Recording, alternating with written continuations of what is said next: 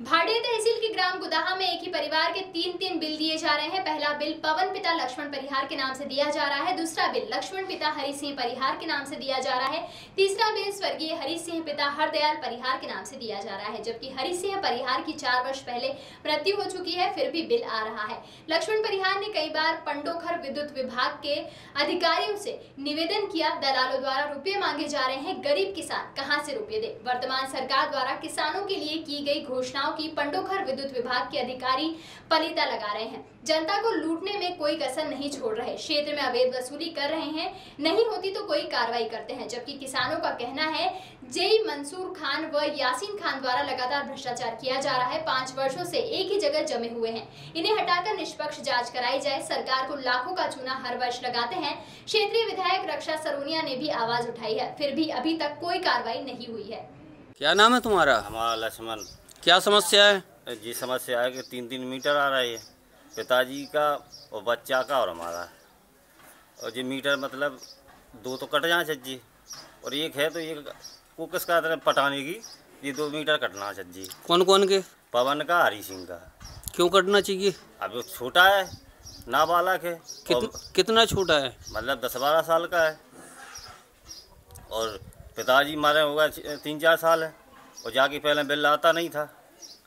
और बिल फिर ये ख़त्म हुआ इसके बाद बिल चालू हो गया उनका मतलब आपके पिताजी के भी नाम आ रहा है बिल जो कि है नहीं? हाँ बिल के नाम आ रहा है बिल। आपने कहीं शिकायत की है? कई यानी करी थी मतलब कोई सुनता नहीं है।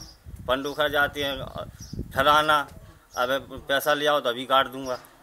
पंडोखर में बोलती हैं? हाँ बोलते है। आप कब गए थे? किससे पूछा आपने? से दो महीना पहले गए थे।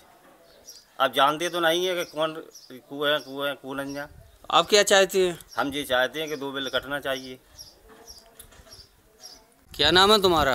पवन। क्या समस्या है आपको लैंड लैंड टूट गई है पास में। लैंड टूट गई है बात बिजली विभाग वाले कोई सुनते नहीं कहाँ पर शिकायत की थी आपने? पंडो का कब की थी? हो गए पास में एक महीने एक महीने से ज़्यादा हो गया है। जब से ये लाने इसी प्रकार डली है। हाँ है।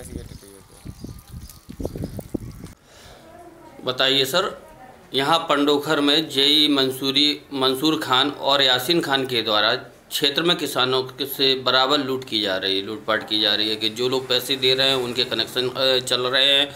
जो लोग पैसे दे रहे हैं, उनके बिल कम किए जा रहे हैं और जो लोग बिल नहीं दे पा रहे हैं, उन लोगों को परेशान किया जा रहा है। इस बारे में पहले भी क्षेत्रीय विधायक से उन्होंने शिकायत की थी और उन्होंने शायद कोई पत्र भी लिखा था, लेकिन इस बारे में अभी तक कोई कार्रवाई नहीं हुई है। और बिजली विभाग के अधिकारियों से भी पूछा जा रहा है, फिर भी कार्रवाई नहीं हो रही। वर्तमान में आपकी सरकार है, इस बारे में आप क्या कहना चाहते हैं और क्या कार्रवाई करवाएँगे? इस बारे में अपने विचार बताएँ।